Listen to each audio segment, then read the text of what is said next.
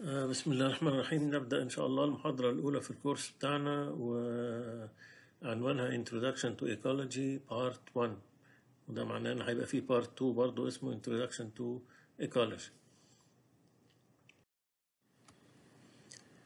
طيب آه نبتدي نبص الأول يعني إيه Ecology. آه Ecology دي جاية من حاجتين آه الجزء الأولاني اللي هو oikos ودي معناها family household أو الأسرة وال ology دي يعني الدراسة ده باليوناني يعني. وبالتالي الإيكولوجي هي العلم بتاع دراسة المخلوقات الحية. و ربنا سبحانه وتعالى لما خلق الكرة الأرضية دي خلق فيها حاجات حية وحاجات غير حية. الحاجات الغير الحية اسمها إيه ودي عبارة عن طبعا الجبال والرمال والصحاري والمحيطات والمية وال reservoirs وخلافه يعني من الأشياء اللي هي مش حية وخلى إن يبقى فيها حاجات ودي هنسميها abiotic components أما الحاجات الحية اللي بتعيش جواها زي الأسد والنمر والغزالة والطحالب والبكتيريا وال والإنسان ذات نفسه دي كلها اسمها biotic components علاقة أو يعني علم الإيكولوجي هو اللي بيدرس إزاي الحاجات المختلفة دي تقدر تعيش مع بعضيها وتعيش جوه ال environment اللي بيحتويها اللي فيه الحاجات ال abiotic وايه علاقتها بال biotic components التانية اللي عايشة معاها. وده بنسميه ال ecological balance اللي ربنا سبحانه وتعالى حاطه على الأرض واللي الإنسان الحقيقة لما بيتدخل عشان يعمل تنمية أو خلافه ممكن يكون بيغير فيه وبالتالي بتبقى له نتائج كتيرة مش كويسة. لدراسة الإيكولوجي تاني لدراسة الإيكولوجي تعال نبص كده على الرسمة دي. دي عبارة عن رسمة schematic كده راسمين فيها دايرة اسمها ال hydrosphere. الدايرة دي هتبقى فيها كل الحاجات اللي خاصة بالمية. يعني مثلا المحيطات والبحار وال والبحيرات الداخلية والبحيرات المالحة وغيره. الجزء الدايرة التانية دي اللي هي ال atmosphere وال atmosphere طبعا اللي هو الغلاف الجوي يعني وما يحتويه والدايرة التالتة اللي هي ال lithosphere ودي الأرض اليابسة من سطح الأرض وأنت نازل تحت جوه الأرض وهكذا. طيب التلاتة spheres دول اللي إحنا بنسميهم ال abiotic spheres. كويس. عندي كمان ال biotic organisms ودول عايشين جوه حاجة اسمها ال ecospheres. وبالتالي الحتة دي مثلا دي. دي عبارة عن مخلوقات حية لأن هم جوه ال ecosphere أو ال biosphere وجوه ال hydrosphere يبقى دي المخلوقات الحية اللي بتعيش في المية. بس. هنا المخلوقات الحية اللي بتعيش في الهواء. هنا المخلوقات المية الحية اللي بتعيش في الأرض. طيب آه في ممكن ألاقي أكتر من تقاطع زي ده مثلا. الحاجات اللي بتعيش هنا هي المخلوقات اللي بتعيش في المية وكمان بتعيش في الأرض زي الريبتايلز زي الأمفيبيانز يعني اللي هي الضفادع وخلافه وزي ال reptiles اللي هي التماسيح وهكذا. وبالتالي any intersection ما بين ال biosphere أي intersection ما بين ال biosphere اللي بيعيش فيه المخلوقات الحية مع ال abiotic spheres دول هيعرف حاجة بنسميها ال ecosystem. فإذا ال ecosystem وده تعريف هنستخدمه كتير قوي هو عبارة عن المكان اللي فيه abiotic components وعايش فيها living organisms. وبالتالي عندي ecosystems كتيرة قوي ممكن تصنف ك natural ecosystems زي الغابات والبحيرات والصحاري والجبال وخلافه.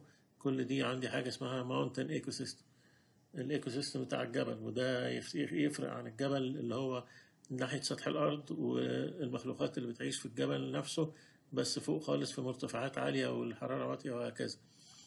آه وعندي آه زي ما عندي natural ecosystems عندي man-made ecosystems بنسميها engineered ecosystems زي مثلا ال activated sludge في معالجة المجاري أو زي إن يكون عندي آه بعمل oxidation ponds يعني بعمل أربي بكتيريا والبكتيريا دي هي اللي تبتدي تاكل ال organics اللي موجودة في المية وتخلصها منها وتعمل لها عملية تنقية آه وخلافه. آه وبالتالي ال slide اللي قدام دي أنا بعيد فيها الكلام مرة واثنين وثلاثه هتلاقي في ال presentation دي بعيد نفس الحاجة بكلمات مختلفة. فأنت عليك إنك بقى تقرأ هو نفس الكلام اللي قلناه. آه لو ناخد مثال كده هو وإحنا بنتكلم على ال ecological levels يعني أنا عايز أدرس آه علاقة المخلوقات الحية بالبيئة اللي عايشين فيها. طيب الأول level عندي اللي هو ال level بتاع ال individual وليكن ال individual بتاعنا هو الغزالة دي أو الايل ده أو الغزالة الكبيرة دي. فلو أنا بدرسه ك individual هبتدي أبص رجليه شكلها إيه عشان يعرف يتسلق ومش عارف راسه فيها قرون علشان مش عارف يعرف يدافع عن نفسه وأسنانه شكلها إيه عشان ياكل الحشيش وهكذا.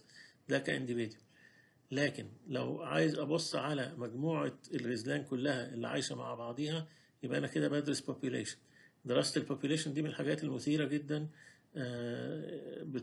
بيدخل فيها معادلات و modeling وقصص طويلة عريضة ومنها ال modeling بتاع ال population بتاع البني آدمين مثلا على سطح الكرة الأرضية. طيب لو هوسع فكري شوية وإلى جانب كل الغزلان الموجودة كل ال population الموجودة من الغزلان هبتدي أبص أشوف في إيه مخلوقات تانية عايشة معاهم. فهلاقي في عندي population اوف أرانب وبوبيليشن اوف سناجب ومش عارف آآ آآ طيور وبومه ومش عارف ومفترسات ايا كانت نوعها.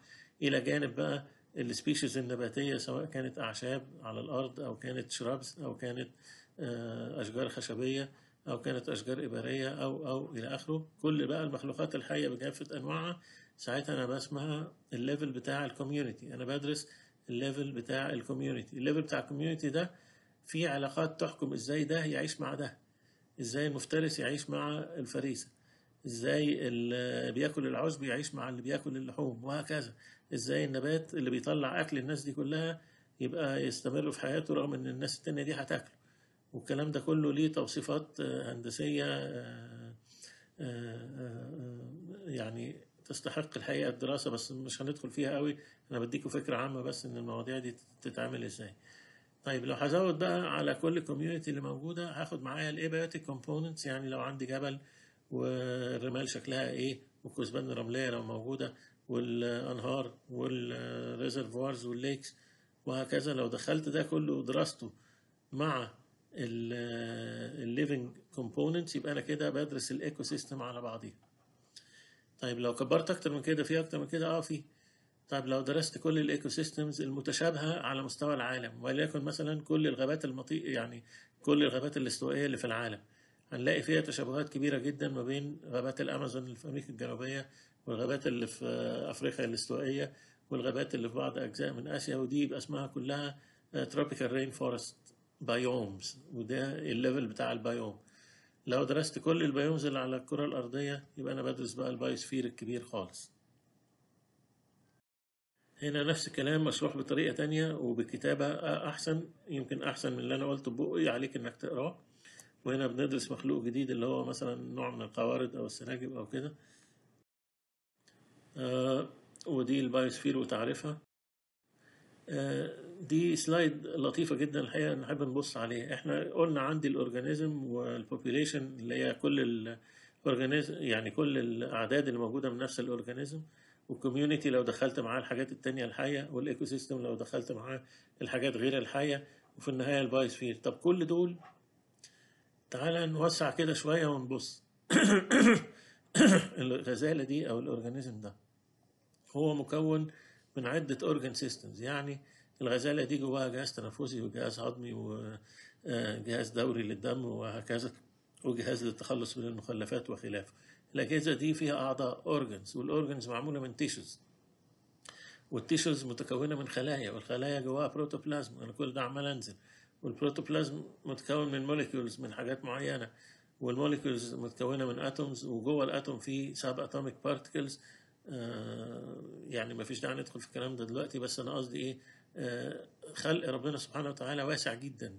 من أول حاجات ما بشوفهاش بعيني لحاجات بشوفها بعيني للحاجات دي لما تكبر تبقى الكرة الأرضية كلها. ولو بصيت أوسع كمان هلاقي الكرة الأرضية دي جزء من مجموعة كواكب والمجموعة دي بتسمها المجموعة الشمسية. والمجموعة الشمسية جزء من مجموعات أخرى بتكون ال galaxy أو المجرة والمجرات اللي كلها اللي موجودة بتكون الكون الواسع بتاع ربنا سبحانه وتعالى. إحنا في ال ecology بندرس الجزء البسيط قوي قوي قوي اللي موجود في الحتة دي فقط. الرسمة اللي قدامي دي بتبين لي ال biomes اللي موجودة في العالم. كمثال مثلا اللون البني الألوان البني دي هي ال desert ecosystems وهنلاقي إن في صحاري موجودة في أفريقيا بشدة وموجودة في آسيا وموجودة في أمريكا الشمالية وموجودة في أمريكا الجنوبية ويمكن آه، أنا آسف في أستراليا ويمكن ما فيش أوروبا ولا في في أمريكا الجنوبية تقريبا يعني آه، صحاري بمعنى الصحاري يعني إلا في أجزاء آه، بسيطة يعني. آه، فيبقى ده اسمه ال desert ال desert ecosystem biome. ال biome بتاع ال deserts اللي موجود في العالم لو بصينا لحاجة زي اللي موجود فوق دي اللي هي النظم الحيوية القطبية موجودة هنا أهو في أمريكا الشمالية وفي أوروبا وشمال أوروبا وفي شمال آسيا سيبيريا وخلافه آه، وهكذا. عندنا biomes كتيرة جدا. طبعا الصورة اللي قدامي دي بتمثل إيه؟ أكيد ده ال desert biome أهو.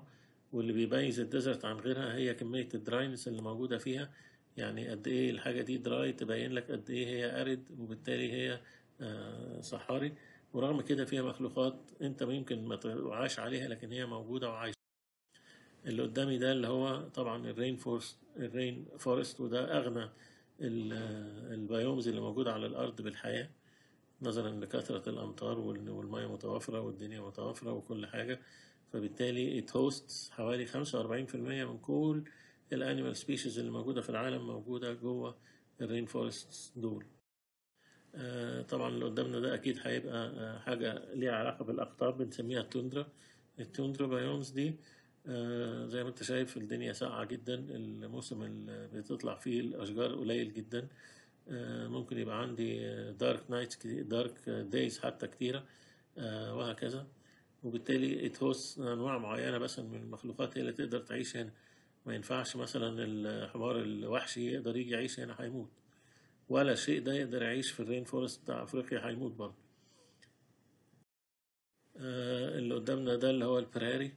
والبراري ده basically يعني آه، الأعشاب واللي حواليها ال shrubs والأشجار دهيت وبرضه فيها نوع كبير قوي من المخلوقات. الصورة اللي قدامنا دي آه، صورة الإيه؟ السافانا. والسافانا دي بقى اللي بيعيش فيها الحاجات اللي بنشوفها في عالم الحيوان وخلافه والأفيال والبتاع. آه، وكل حاجة من دول طبعا interesting إن أنت آه، تقرأ وتبص فيها شويتين زيادة كده أهوت.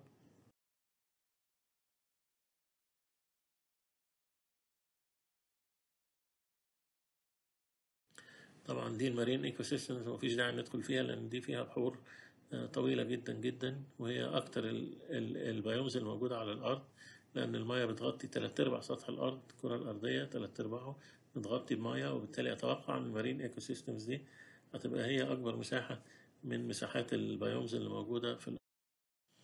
آه، طب اللي قدامنا ده biome يعني لو عايز تسميه كده بس هنسميه man made ecosystem ولا حاجة اللي هو حدائق الحيوان ان أنا بجيب مخلوق مش بيعيش في هذه المنطقة. الهابيتات بتاعته مش هي دي. وبخلق له حاجة علشان مجرد الناس تتفرج عليه وهكذا. ونسميها حديقة الحيوان. آه، السلايد دي هنتكلم فيها على حاجة جديدة اسمها Net Primary Production NPP آه، قد يكون الكلام بدري شوية لكن هنفهم معناه بعد كده. ال NPP ده عبارة عن parameter بنستخدمه علشان يعبر عن مدى ال productivity بتاعة ال- وحدة المساحة من ال ecosystem بتاعي. بمعنى ال ecosystem ده مثلا ecosystem of سافانا أو براري يقدر يطلع أكل علشان ي support organisms قد إيه. بمعنى آخر وأدق. في مخلوقات بتعرف تصنع الأكل بتاعها والأكل بتاع غيرها عن طريق التمثيل الضوئي أو ال photosynthesis زي النباتات.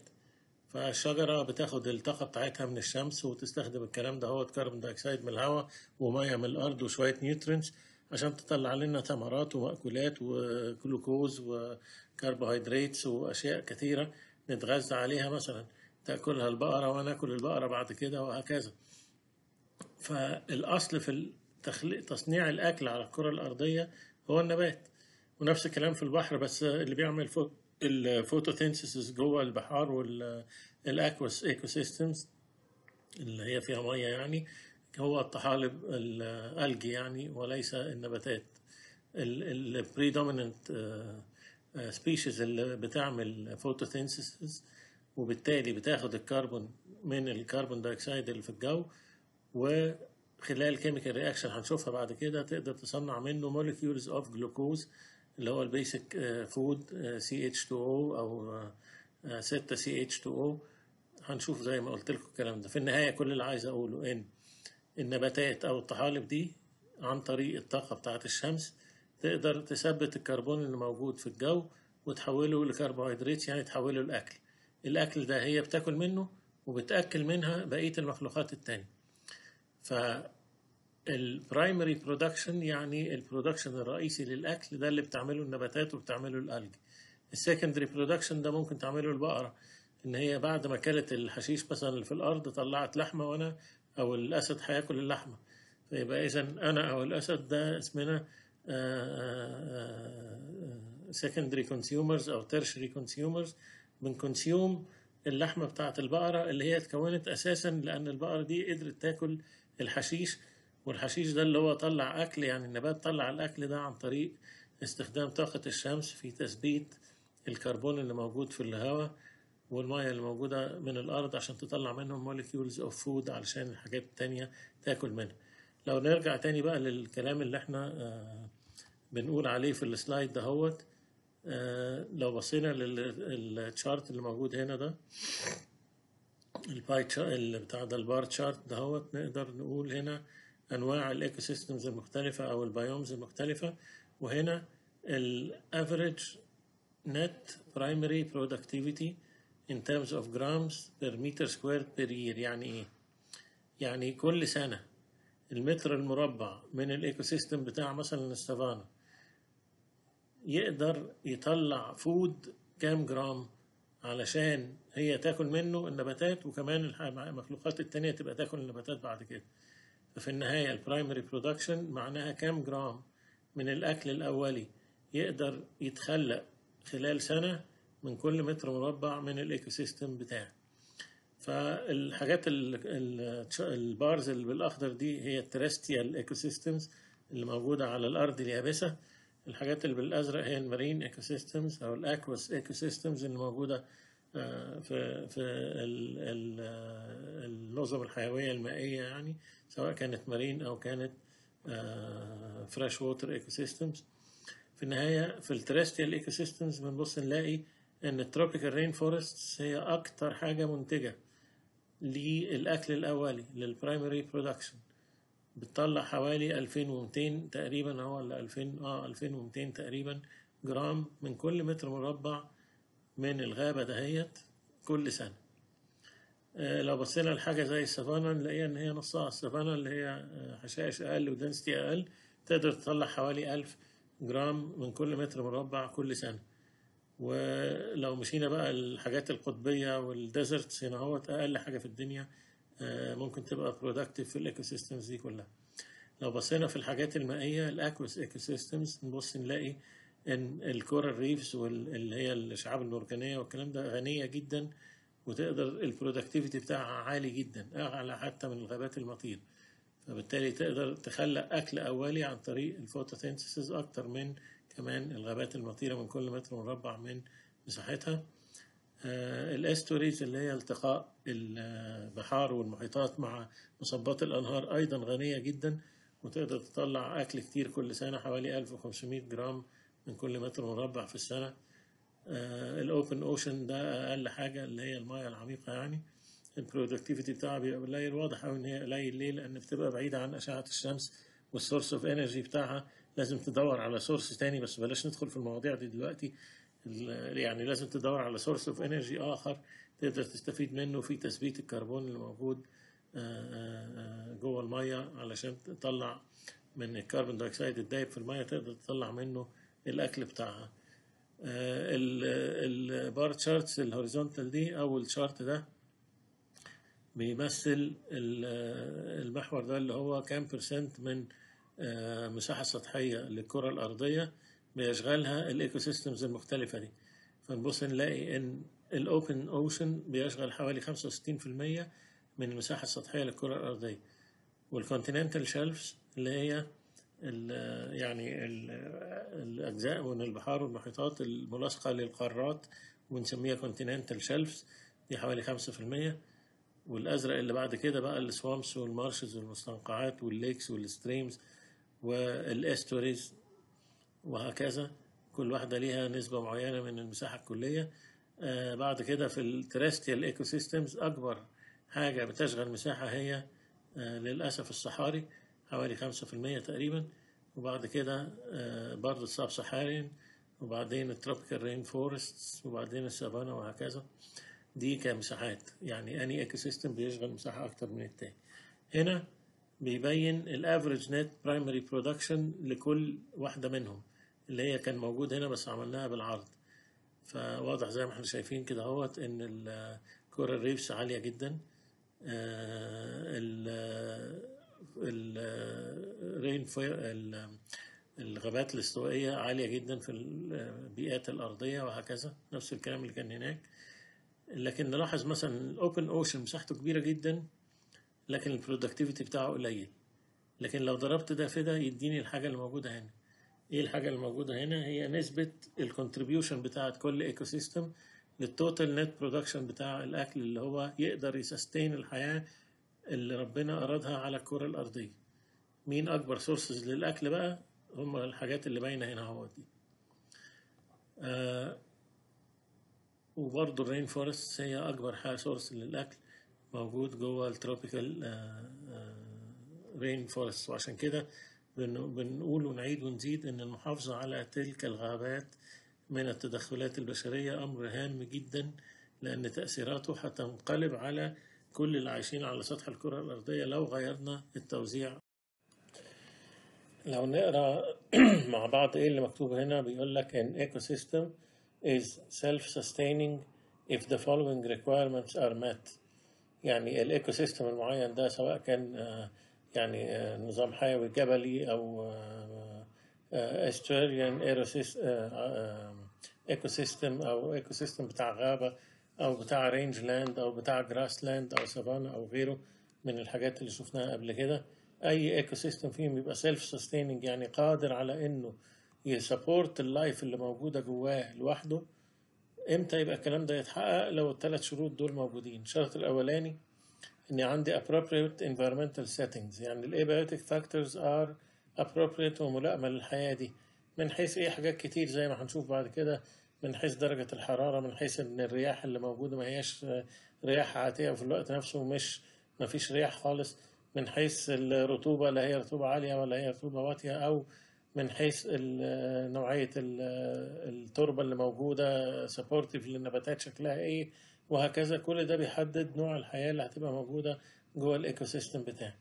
طيب given إن أنا عندي appropriate conditions مثلا علشان to support الحيوانات الزرافة والغزالة والضباع والمعرفش مين. دول كلهم ممكن يكونوا بيعيشوا في نفس ال ecosystem علشان يعرفوا يعيشوا محتاجين حاجتين. الأول محتاجين material عشان يبنوا أجسامهم.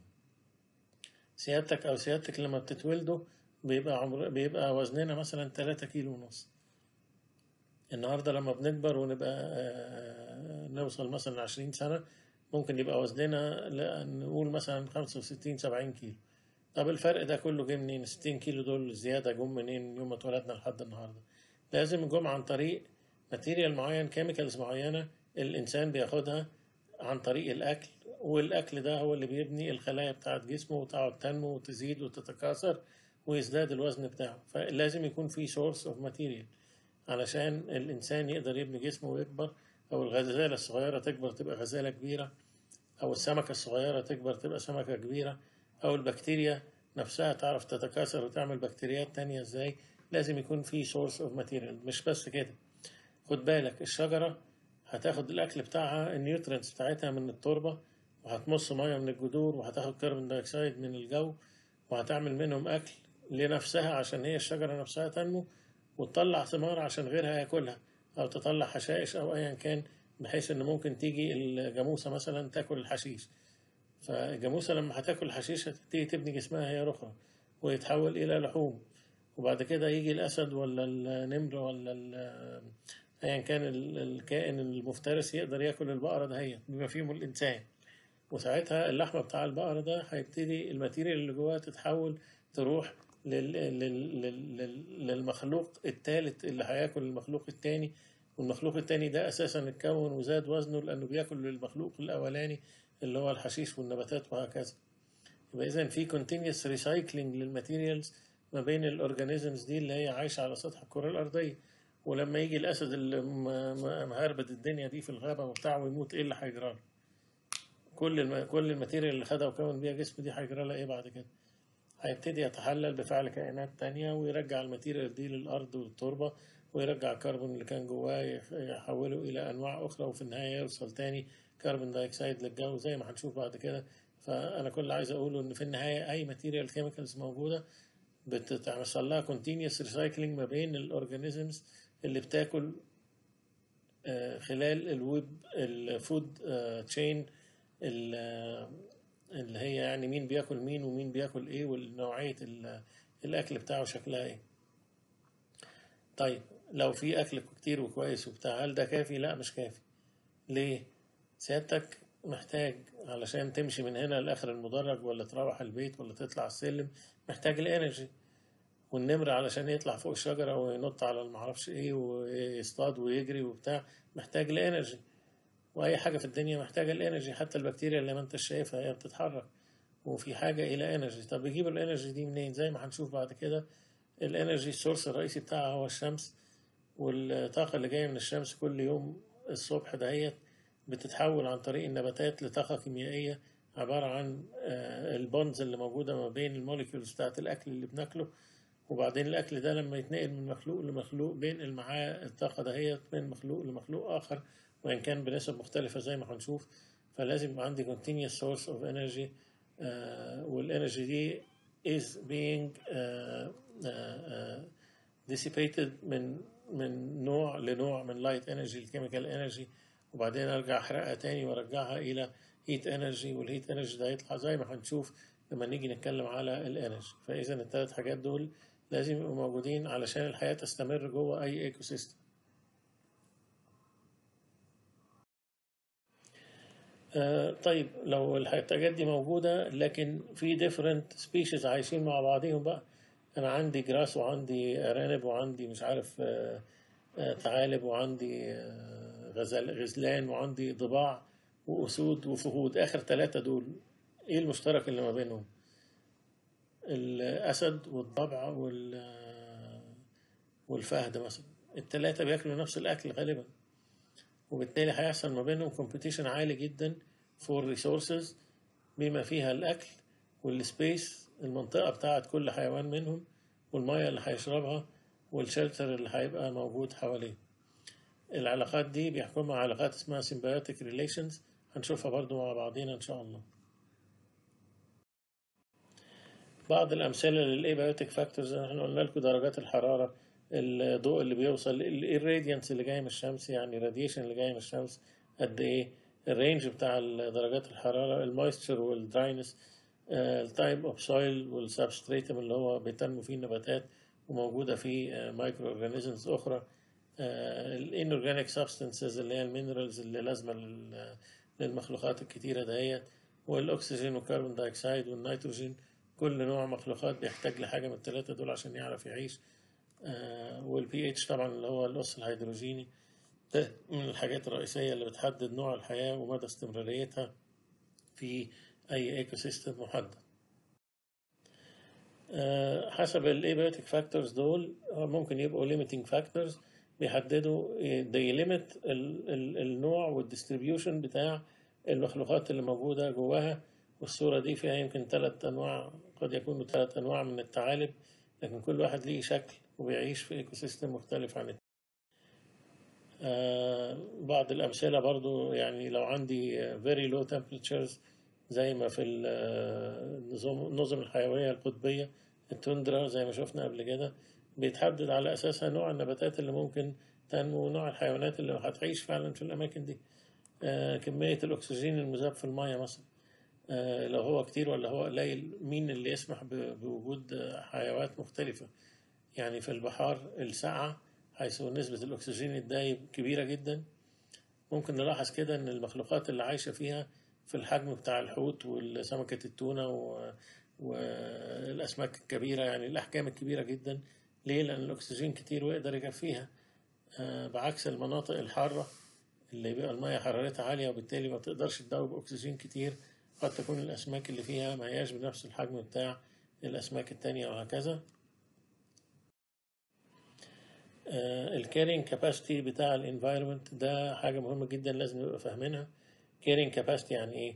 لو أنا عندي آه، بيئة معينة أو ecosystem معين هذا ال ecosystem ليه capacity maximum capacity يقدر يشيلها من المخلوقات. ده بنسميه ال carrying capacity it is the maximum number وممكن يبقى ال maximum weight أو ال maximum biomass of organisms uh, where the resources of a certain ecosystem can support. carrying capacity is limited by biotic factors و abiotic factors. يعني في كام حاجة حية عايشة مع بعضيها وفي الوقت نفسه ال abiotic factors اللي موجودة دي بتقدر توفر minerals قد إيه وبتقدر توفر supportive environment شكلها إيه. والاتنين دول مع بعضيهم بالإضافة طبعا إلى القدرة على ال recycling بتاع ال dead organisms عشان لما المخلوق يموت يرجع تاني ال minerals اللي موجودة جواه والمكونات بتاعته ترجع تاني للتربة والجو والهواء والمية اللي هو كان عايش فيهم قبل كده ويتولد منهم حياة جديدة. مهم إن ال carrying capacity هي أكبر عدد من المخلوقات أو أكبر mass أو أكبر biomass يقدر يستحمله الحتة اللي بنتكلم عليها دهيت وكان زمان في آه، يعني آه، تجربة كده نجيب علبة ونقعد فيها فارين هيعيشوا مع بعض ونديلهم أكل وبتاع. هيعيشوا ويبقوا مبسوطين. لو كانوا أربع فئران ونديهم أكل برضه يكفيهم يعني يمكن يعيشوا مع بعض لكن لو كانوا 8 ولا 16 هيبتدوا يموتوا بعض. ليه؟ لأن هو بقى space limited environment ال ecosystem اللي عايشين فيه بقى very limiting من ناحية ال space مع إن الأكل موجود فمش هيقدروا يعيشوا ولا يكملوا. والعكس صحيح لو إن المخلوقات دي موجودة في حتة بس كل ما عددها يزيد الأكل اللي فيها ما زادش يبقى هيبتدوا يتخانقوا على الأكل الضعيف اللي موجود أو الأكل اللي محدود اللي موجود جوه ال ecosystem ده وبالتالي برضه ممكن آه، آه، آه، يعدوا يعني ال carrying capacity بتاعت ال environment وما يقدروش يكملوا فيحصل حاجات تانية. اللي قدامنا ده ecosystem معين بيعيش فيه مثلا غزلان وشوية الطيور دي وأرانب. آه، على مدار السنة هنا في ال- الشتاء والربيع وال- والسمر يعني وال autumn وهنا التوزيع بتاع أعدادهم.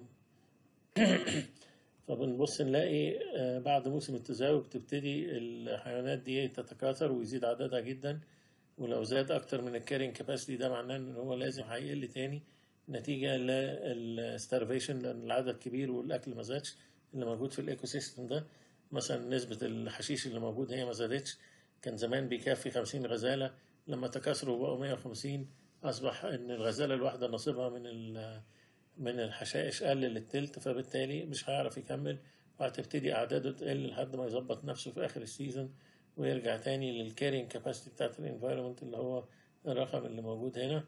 آه، وفي أسباب أخرى ممكن تقلل الكلام ده هو زي ال abiotic factors اللي هي الجو نفسه ممكن يتغير ال hunting ال hunting الناس بتيجي تصطاد الكلام ده أو إن يبقى في predators أعداء طبيعية فبتقلل الأع- الأعداد بتاعة المخلوقات اللي موجودة هنا ونوصل ل steady state إمتى؟ لما ال number of births is equal to number of deaths لل species المعينة دي. و